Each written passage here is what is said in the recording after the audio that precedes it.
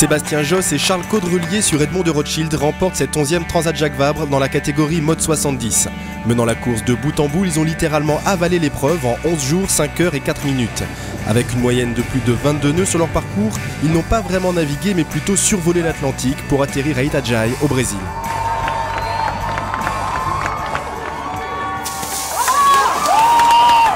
Honnêtement, on pensait pas aller aussi vite. On a une météo exceptionnelle pour la trajectoire qu'on a fait et, des conditions euh, très rapides. après, euh, après, ce bateau est extrêmement rapide, donc euh, ça on le savait. hein. Je pense qu'on avait un bon rythme, on a bien mené le bateau. Après, bah, après on a essayé de trouver le bon curseur par rapport à, à Ciné Gavinier qui aussi ça va appuyer sur le champignon. On a toujours essayé de montrer qu'on pouvait être un petit cran au-dessus.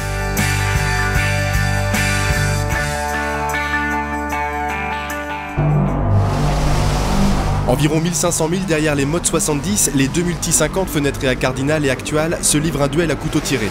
Ils ont passé l'équateur dimanche soir et filent à une vitesse moyenne de 20 nœuds au large de Recife, au nord-est du Brésil. Regarde, on a de la chance, il aurait pu pleuvoir. Hein. On est le long des côtes du Brésil maintenant, qu'on va atteindre, on va atteindre le continent.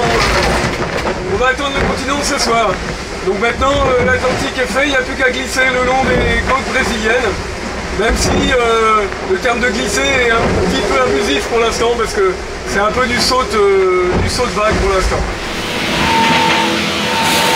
Au nord de l'équateur, le groupe de tête des IMOCA se bagarre dans le poteau noir. Pour cette classe, le suspense reste entier, observation, stratégie, chaque réglage, chaque option est décisive. Le but des équipages, la quête de la vitesse maximale. On va essayer des images de dehors, mais euh, je vais tricher, d'accord? Voilà.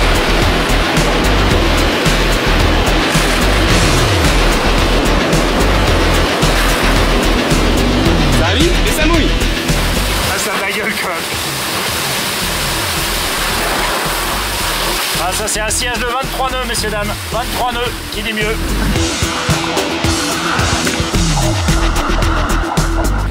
Auto noir, ce dimanche matin à bord de Maître Coq 2. Et nous voilà revenus un petit peu sur les leaders. On a aperçu PRB tout à l'heure, Massif est un petit peu à notre vent là-haut. Et pour l'instant c'est très humide mais ça avance toujours.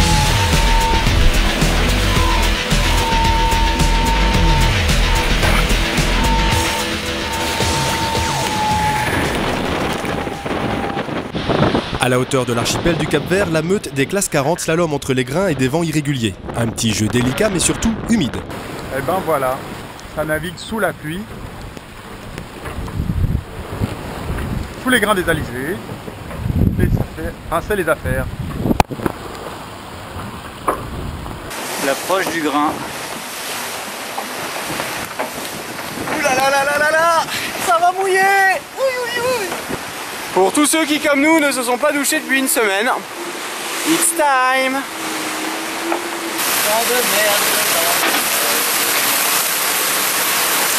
C'est le déluge ici. Chez les poursuivants, certains équipages ont pu adopter une tenue, disons, plus légère. Ils ne vont pas forcément moins vite et en plus ils naviguent au soleil. Et nous sommes déjà euh, quasiment à la latitude de, de la Mauritanie. On sent le souffle chaud qui arrive par la gauche, c'est très agréable. Et on est plutôt bien sur l'eau. Armel, content de ce début de transat C'est vrai que j'ai l'oreille gauche qui chauffe Ah ouais plus que la droite. Il fait chaud. C'est bon signe. Bon, il paraît que l'hiver est arrivé en France. Et ben nous c'est l'été. Bon week-end à tous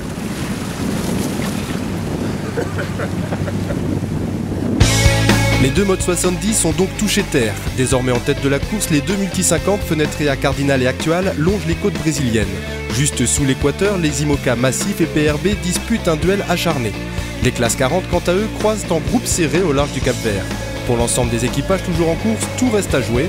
La Transat Jacques Vabre 2013 est loin d'être terminée, même si certains se voient déjà au Brésil. On ira euh, Ouais, on va aller une petite, euh, petite caipirinha quoi. Oh, un petit morito, puis on va aller voir les plages aussi. Voir si c'est pas une légende ce qu'on raconte. Bon allez, voilà, bye